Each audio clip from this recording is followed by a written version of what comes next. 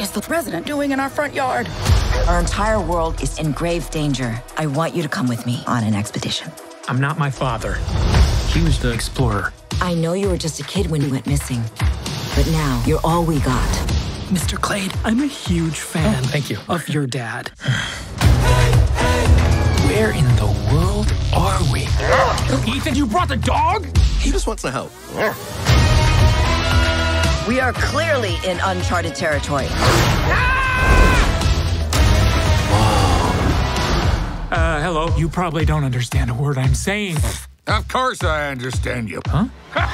Dad? Dad? Grandpa? I'm a grandpa. All the trees that I What is this place? The cliffs are alive, and the waters dissolve the flesh off your bones. Uh, is this thing dangerous?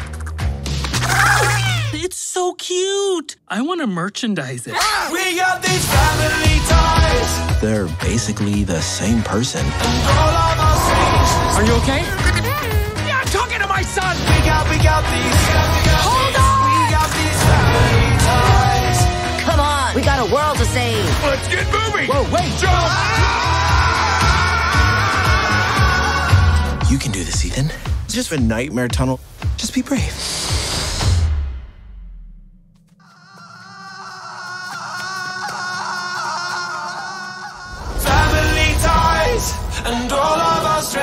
Strangeness. That's what I'm talking about. oh, Uh, over, uh, over the, no, around the. yeah.